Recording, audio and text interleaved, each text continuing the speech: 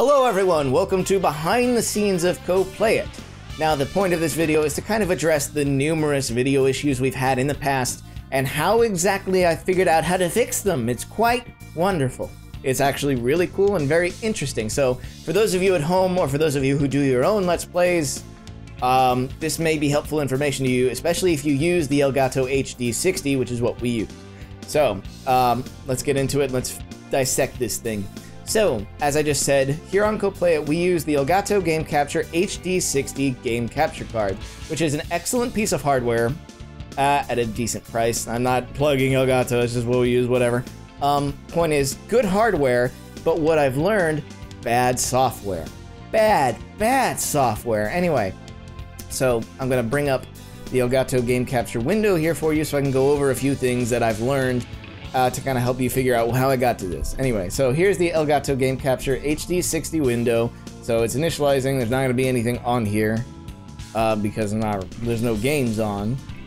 But anyway, so normally what you do is you open it up and you set whatever you're recording. This is because, uh, to my knowledge, the Elgato Game Capture software actually differentiates between what console it's recording. It decides how to record it based on the source, which, you know, in theory is a pretty fucking good idea.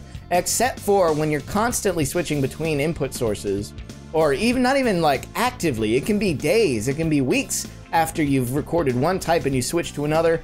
It still has some sort of jumbled memory um, about what it's supposed to be recording, and it fucks everything up.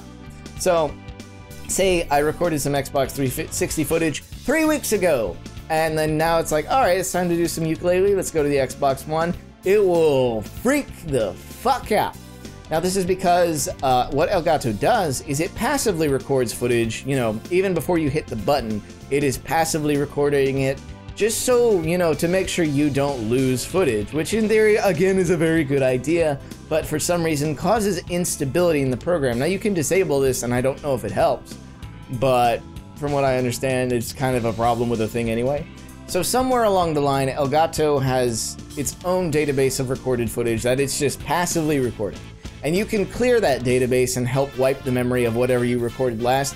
But when I tried that, the very next thing we recorded, I believe, was Yooka-Laylee, and you guys saw how the last round of those went. Fucking bad. So that didn't fix it.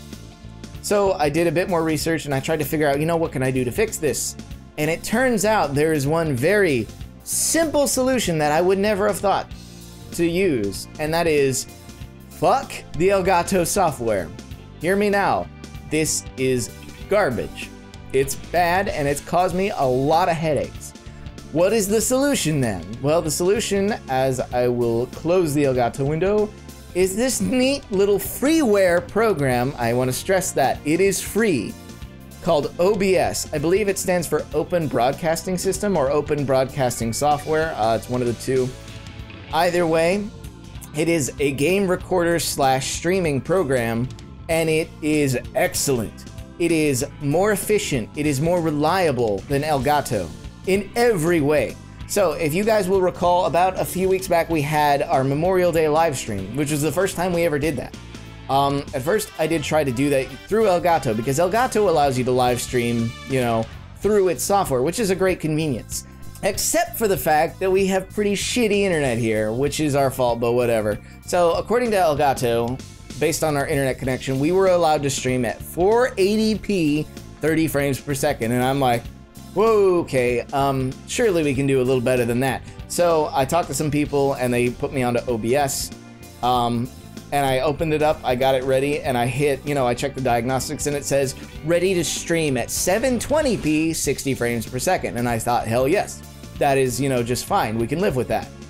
And I started streaming, we tested it, and it looked good, and it worked for four hours.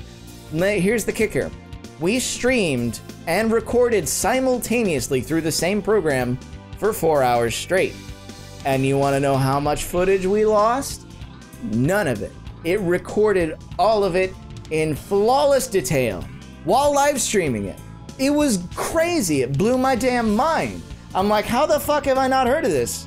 Uh, because, like, in every YouTube and Google search I ever did to try and figure out Elgato, this never came up. and I'm fucking amazed. But this is it. This is the solution right here. So again, OBS. Um, what it can do is it's a game capture software that works for any, as far as I know. I haven't tried, I don't have every device available to try, but to my knowledge, this in theory could use any capture card device that you use for gameplay footage.